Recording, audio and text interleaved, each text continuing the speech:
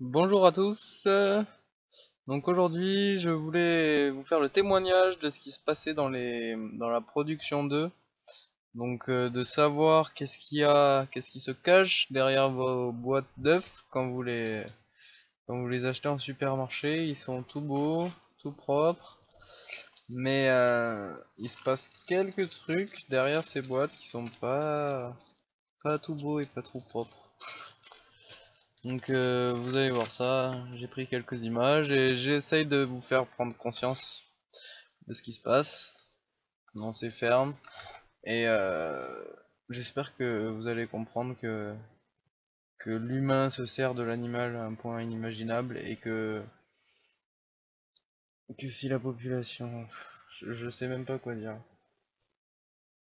Je sais même pas si le problème vient du fait que euh, ça soit des gens qui font du business avec les animaux ou si c'est euh, le fait que ce soit les consommateurs qui demandent plus, euh, enfin qui demandent de la viande, qui demandent des œufs. Donc je sais pas d'où vient le problème, je j'arrive pas à déterminer. Donnez-moi votre avis parce que j'en ai aucune idée. Donc du coup, ouais, on va passer au film avec les images. Et puis on se voit à la fin.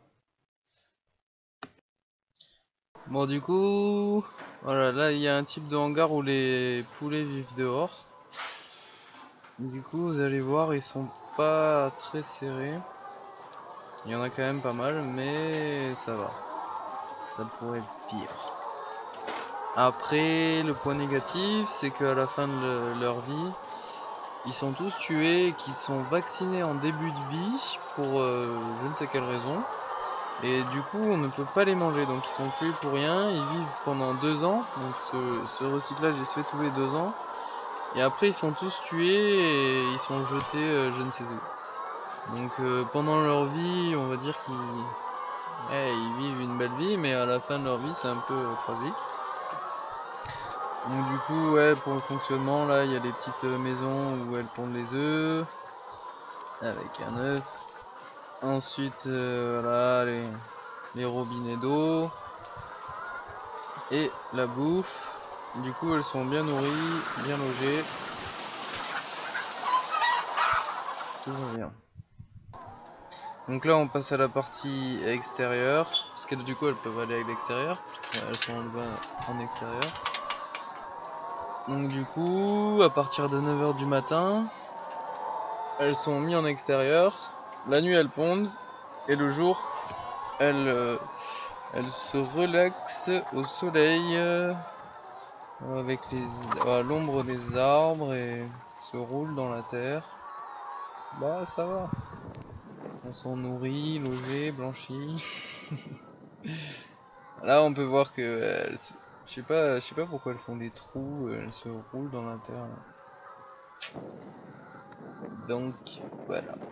Mais il faut savoir que ceci est un élevage extérieur. Maintenant, on va passer à l'élevage intérieur qui est un peu plus tragique tout de même.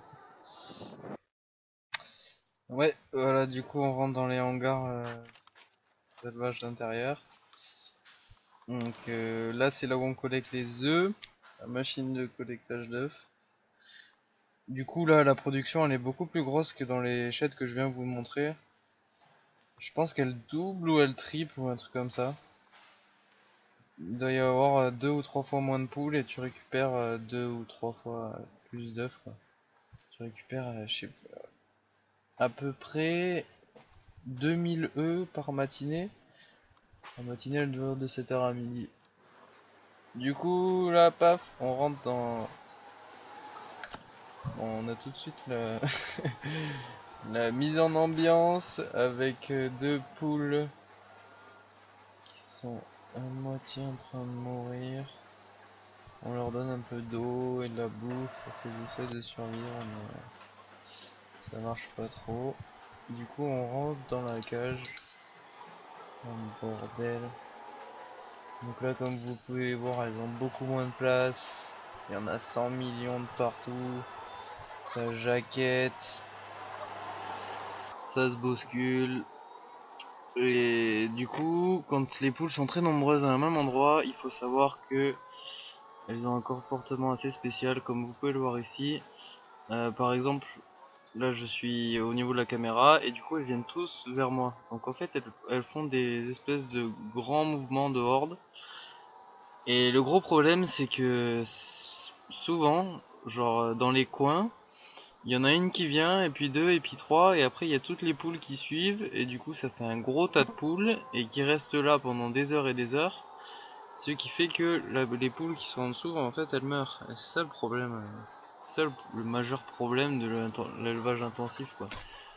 C'est que euh, elles meurent d'étouffement. Et tu peux retrouver euh, deux ou trois poules mortes par jour. Donc c'est assez impressionnant, quoi. Donc pour appuyer le fait qu'il y a vraiment trop de poules dans ces hangars, on va jouer un petit jeu. Vous allez compter combien il y a de poules sur cette photo, sachant que ça fait à peu près un mètre carré sur le sol. En 10 secondes. Allez.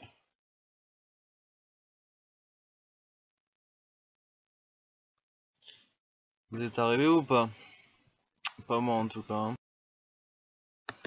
Bon allez, un dernier petit truc. Comme vous pouvez voir ici, on a un 9. Allez voir ce qui se passe quand je le balance par terre. Et bam Ça c'est assez incroyable quand même. Elles bouffent leur propre congéniture. Un peu le même problème que la vache folle quoi au final. Elles se bouffent entre elles. Je sais... Je sais même pas... Ouais. Bref. Bon, je vous montre un dernier truc à la fin de la journée, ce que tu récupères, et ce que votre belle petite bouche va manger, se trouve ici. On récupère des millions et des millions d'œufs. Une palette, ça fait euh, 1000 œufs. En gros. Euh, et il doit y avoir 5-6 palettes par jour. 5-6 000 œufs par jour. Pas trop mal pour nourrir les 6 milliards d'êtres humains sur Terre. Bienvenue sur Terre. Bon ben voilà, le montage était un peu l'arrache, j'en suis désolé. Les paroles je les ai pas travaillées, j'ai fait ça vite fait, c'était juste pour vous faire témoigner de ce qui se passe. Donc euh, j'espère que le message il est passé que vous allez essayer de manger des œufs qui sont euh, avec des poules qui sont élevées en extérieur, ça serait plutôt pas mal. Et que vous essayez d'imaginer les conditions qui se passent dans les abattoirs et essayer de manger un peu moins de viande. Je pense que le problème, il vient quand même de la demande, il vient, bien entendu, il vient de, des gens qui font ce genre de business. Mais s'il n'y avait pas de demande, ou s'il y avait moins de demande, il y aurait moins de production. S'il y avait moins de production, il y aurait moins de poules au mètre carré. S'il y avait moins de poules au mètre carré, il y aurait moins de poules mortes.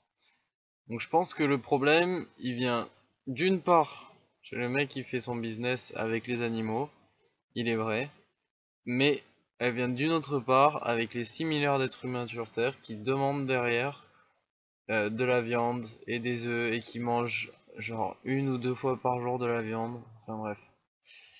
J'espère que ça vous aura fait réfléchir. Et euh, sinon, voilà quoi. Du coup, j'aimerais bien que avoir votre témoignage de ce que vous en pensez, d'où vient le problème, de de savoir ce que vous en pensez, si c'est plutôt les businessmen qui font qui sont le problème ou les 6 milliards d'êtres humains ou, ou s'il y a tout simplement pas de problème et que ça vous paraît tout à fait normal ou euh, que euh, que le problème vient autant de, des mecs qui, font la demande que les mecs qui font le business. Comment, comme, quelle solution vous trouverez pour éviter ça? Et puis euh, voilà quoi. J'aimerais bien avoir votre avis parce que j'aimerais bien avoir des opinions sur ce point-là parce que j'y travaille dedans depuis un mois maintenant, un mois et demi. Je pense que je vais continuer. Je me rends compte de choses, mais j'aimerais beaucoup avoir des points de vue de d'autres personnes. Donc euh, voilà.